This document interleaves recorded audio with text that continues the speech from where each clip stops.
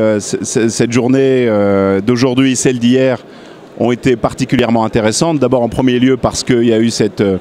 approche culturelle significative avec ces différents événements organisés hier et qui nous ont permis de mieux connaître la région pour celles et ceux qui ne la connaissaient pas,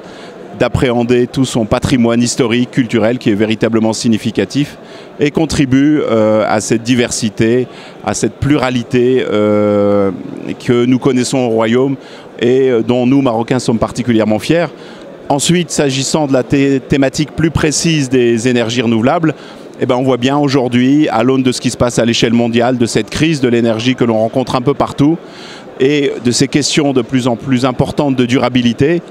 que ce, séminaire, cette thématique, ces discussions aujourd'hui sur les, énergies renouvelables et notamment le potentiel euh, assez euh, incroyable que la région euh, Gelmi-Mouadnoun possède en la matière, va permettre, à mon sens, de poser les jalons d'une véritable production d'énergie verte au Maroc, à destination des Marocains, mais aussi à destination de tous nos partenaires, et notamment européens. Donc on a maintenant un cadre juridique qui est relativement clair, on a un cadre en matière de,